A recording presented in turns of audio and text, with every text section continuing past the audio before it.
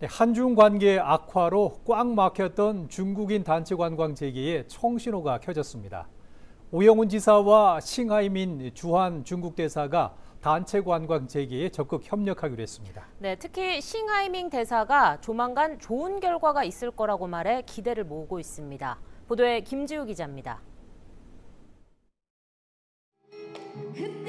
제주에서 한국과 중국 양국의 상호 발전을 도모하는 자리가 마련됐습니다. 이 자리에서 오영훈 제주도지사와 싱하이밍 주한 중국 대사는 양국 관계 경색으로 막힌 중국인 단체 관광 재개에 적극 협력하기로 했습니다. 우선 오 지사는 지난 2월 중국발 입국자에 대한 단기 비자 발급 제한이 해제되면서 제주를 찾는 중국인 개별 관광객이 지난해보다 26배 늘었다고 설명했습니다. 다만 지역 경제와 관광 산업이 활성화되기 위해서는 중국인 단체 관광객이 절대적으로 필요하다고 강조했습니다. 현재 제주 관광에 대해서 설명을 좀 드리고 어, 그리고 단체 관광객이 어, 제주에 올 수 있도록 어, 중국 당국의 더 적극적인 협조를 요청하기 위해서 싱하이밍 대사는 단체 관광 허용 필요성에 공감하며 가시적인 성과가 나올 수 있도록 적극적으로 협조할 것을 약속했습니다.